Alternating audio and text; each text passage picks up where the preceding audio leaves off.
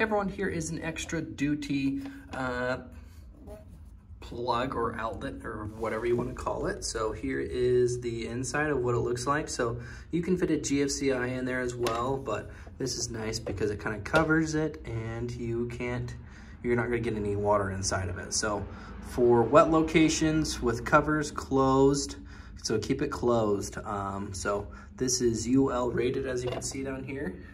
I don't know if you can see it.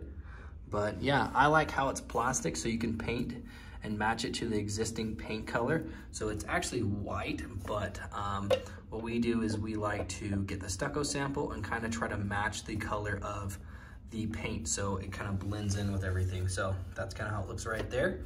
Uh, it's a little bit in depth because sometimes houses have styrofoam that are there. So we have ours a little bit deeper so that you can be able to uh, so that you can be able to open it all the way because some places uh, when you open it, it might not even be able to open all the way, just depending on uh, where, like how much styrofoam you have. So we have a one inch barrier of styrofoam and this one works really, really good.